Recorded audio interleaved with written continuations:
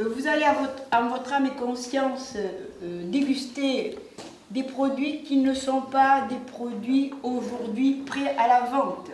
L'idéal serait que sur les 24 échantillons que nous avons sur table, il n'en reste que 12. Ces vins qui ne sont pas finis, puisqu'ils sont encore en barrique, sont des vins qui sont sélectionnés pour une vente aux enchères qui aura lieu au mois d'août. Et donc, ils ont été tirés comme ça à la pipette. J'ai toujours essayé dans les dégustations de jury qu'on soit respectueux et qu'on soit digne vis-à-vis du travail que peuvent faire les vignerons. Et évidemment, quand on a cette idée-là, les produits en sortent encore plus valorisés, en- encore plus de, de grandeur.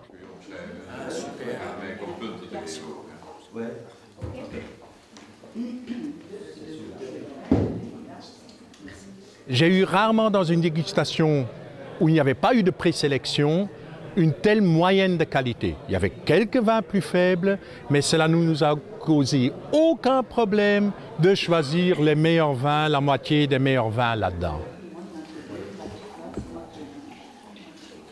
Il y a un problème pour toutes ces appellations, que ce soit Corbière, Minervois, Fitou, etc., c'est que vous avez toujours trop de vins faibles.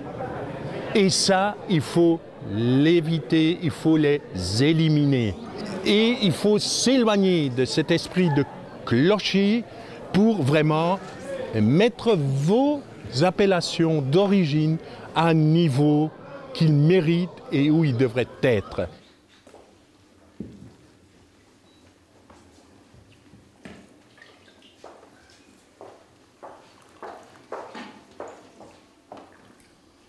C'est vrai que le vin, il y a de l'alcool dedans. Enfin, il ne faut pas le nier. C'est vrai que médicalement parlant, aujourd'hui, on s'est rendu compte qu'il y avait une molécule qui s'appelait le réversératrol qui était nécessaire pour le cœur, le poumon, enfin bref. Mais il faut savoir que cette molécule, elle est dans l'alcool et qu'elle est présente sur des vins qui ont eu euh, beaucoup plus de temps au soleil que des vins qui sont chaptalisés. Donc elle est présente chez nous. Disons les choses comme elles sont. Nous n'avons pas la faveur de pouvoir communiquer sur ces vins. Nous n'avons pas non plus la possibilité de faire comprendre aux gens que c'est pas parce qu'il y a de l'alcool dans le vin qu'on a oublié qu'il y avait de l'eau, qu'il y avait des tas euh, de corps intéressants et que de toute façon à partir du moment où on ne sait pas en faire un usage, on ne saura jamais euh, s'en sortir. Euh, nous avons sélectionné ces vins à notre âme et conscience, euh, sachant que nous avions tous des provenances et des sensations différentes, mais euh, personne ne s'est battu, on est arrivé à un consensus, tous les produits étaient remarquables, et bon, euh, il a fallu sortir le meilleur des meilleurs. Voilà. Et Madame la Présidente, euh, tout à l'heure euh, de ce comité de sélection, vous avez dit, mais on a été très exigeants. Mais nous, on s'en réjouit quand vous êtes exigeants. Parce que nos viticulteurs ici n'ont rien à craindre de l'exigence, ils font des vins d'excellence. Et cela ne se sait pas assez, mais cela mérite justement d'être davantage connu. Et quand vous avez un comité de sélection qui vient ici pour dire on va tirer les vins vers le haut, eh bien on s'en réjouit.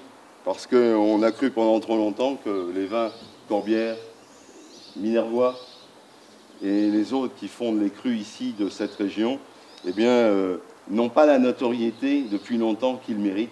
Nous avons tout ce qu'il faut ou ici, des hommes, un terroir, du soleil, et nous avons le produit, et nous avons aussi l'image que l'on peut donner de notre territoire quand on voit un tel patrimoine bâti, pour que nos viens, un jour, enfin, arrivent à cette notoriété auquel ils ont légitimement droit. Il y en a assez qu'on compare notre vin à de l'alcool. Le vin est un aliment.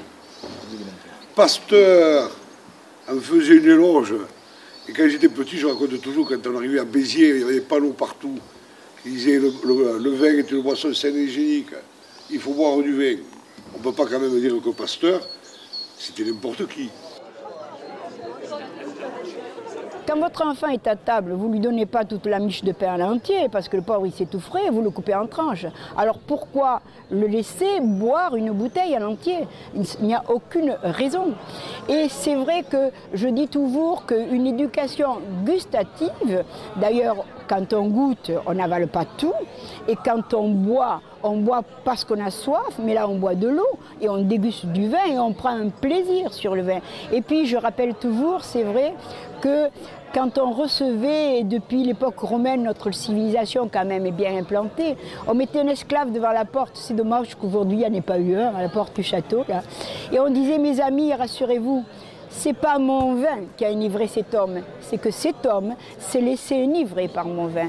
Et je pense que si aujourd'hui certaines personnes bien pensantes et gouvernantes savaient à quel point le vin est fait de plaisir intime, tactile, de plaisir qui font que la vie devient quelque chose de normal. D'ailleurs, dans le monde du vin, je n'en connais pas des minables, ou alors ils ne sont pas du monde du vin, ils veulent se coller au monde du vin.